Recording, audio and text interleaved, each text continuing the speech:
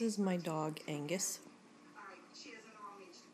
fixing himself a nest after he pulls the blanket down from the top of my chair. Fantastic.